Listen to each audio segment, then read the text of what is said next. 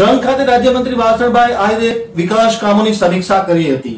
સાથોસાથ ધ્રંગની જગ્યાના મહંત તેમનું ભાવભીનું સ્વાગત કરી આશીર્વાદ પણ પાઠવવામાં આવ્યા હતા. આજે ધ્રંગ ગામે ગ્રામ્યજનો સાથે સમીક્ષા બેઠક રાજ્યમંત્રી વાસણભાઈ આહિરે કરી હતી.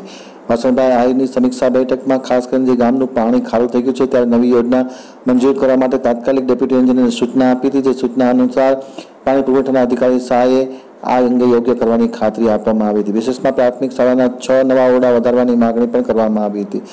સમીક્ષા વેળાએ સરપંચ ભરતભાઈ આહિર, અગ્રણી સામજીભાઈ અગ્રણી ધનજીભાઈ પટેલ, અગ્રણી ધનજીભાઈ સહિતના લોકો ખાસ ઉપસ્થિત હતા અને આ પ્રસંગે ખાસ કરીને ત્રંગ મેકરણ દાદાની સમાધિના દર્શન કરીને તેમનું મહંત પરમ પૂજ્ય મૂર્તિ દાદા દ્વારા સન્માન પણ કરવામાં આવ્યું હતું.